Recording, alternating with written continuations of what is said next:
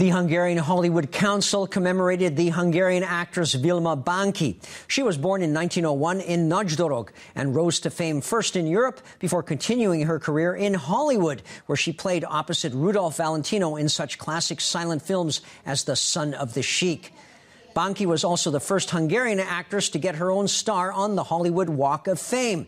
She died in 1991 in Los Angeles at the age of 90. The Hungarian Hollywood Council strives to bring attention to those Hungarians who made big contributions to the movie business. When I worked in Los Angeles as a consul general, I realized what a great historical background Hollywood has with Hungarian roots.